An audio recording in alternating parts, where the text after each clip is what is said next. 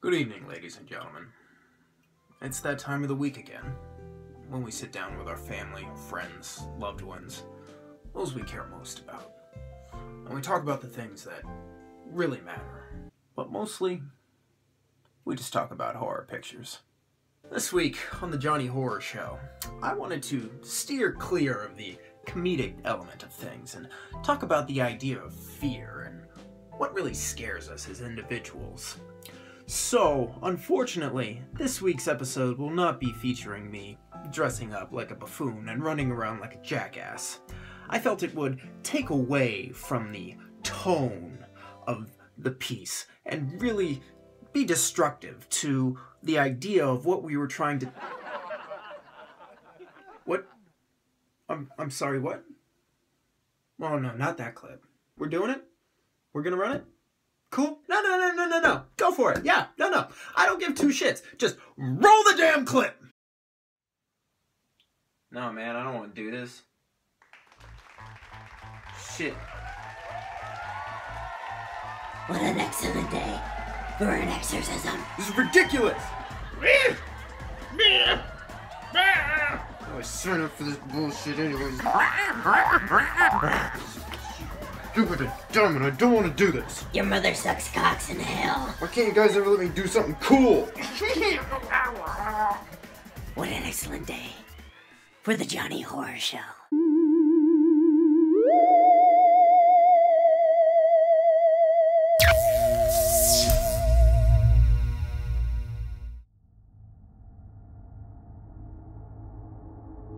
As horror fans, we find ourselves put in this awkward position of really loving horror movies, but not being scared by them anymore. Every now and then, you get something that hits that nerve, and it hits it so well that it doesn't ever leave.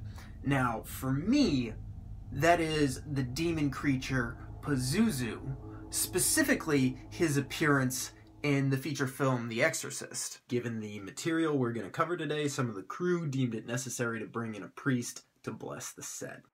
Power of Jony compels you. There were a couple of different inspirations for how this face came into being. First and foremost, I know that uh, William Friedkin was inspired by the mask in the Japanese horror film Onibaba.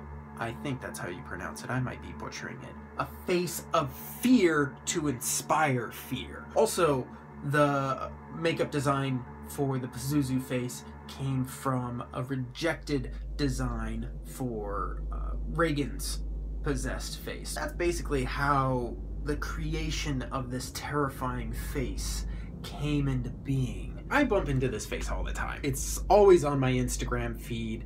It's always in my life. I have dreams about it all the time. One specific dream that really did me in, I could not sleep for weeks. And I'd probably probably been asleep for maybe, I don't know, like a couple hours. Anyways, I wake up, it's three in the morning, right? Of course, three in the morning. Oh shit. Hey guys, we lost power. We lost the power. Um, shit. Just give me a flashlight, man. We can keep on rolling, man. Just, I don't want your lip, man. Don't give me any lip. I don't want it. Just give me a fucking flashlight. Thank you. I go to bed. I wake up. When I wake up, first thing I do is I grab my phone, see what time it is. Of course, it's 3.15. 3.15, if you know anything about that, that's the time that Jesus died. Jesus died at 3.15 p.m., so the demons come out at 3.15 a.m. to mock him. So it's 3.15, and I don't try not to think anything of it. I always think something of it, but I'm just like, you know what? I'm too tired. I'm going back to sleep. And I go to put my phone down, right? And as I put my phone down, it slips. And when it slips, it goes and it hits the ground. And then, as it hits the ground, Pazuzu's face shoots up at me. And then I'm terrified. And I. Holy sh-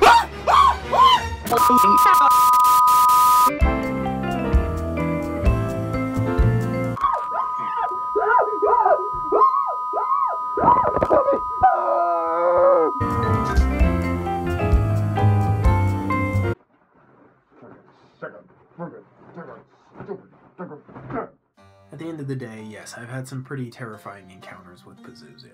And I think more than anything, it's gotten inside my brain. Nothing has affected me quite like this.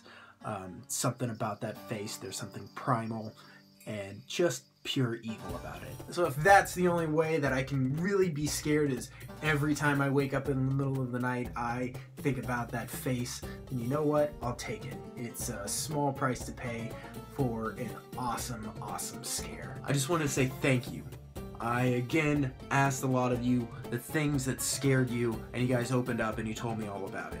From Carrie, I got an unlocked window, uh, 1965 film by Alfred Hitchcock, which I've never seen, so that kind of makes me want to go watch it now, so that's exciting. From Rachel, I got The Haunting, uh, the original Haunting film, the old black and white one, which is an excellent film. From Miranda, the original Paranormal Activity film, which is pretty scary. And if you haven't commented yet, please do comment and let me know because I'm planning on doing more of these segments. More shit that scares me, and it's gonna be a lot of fun. As always, guys, thanks for listening. I hereby absolve you of all your sins. Say ten Hail Marys and go fuck yourself.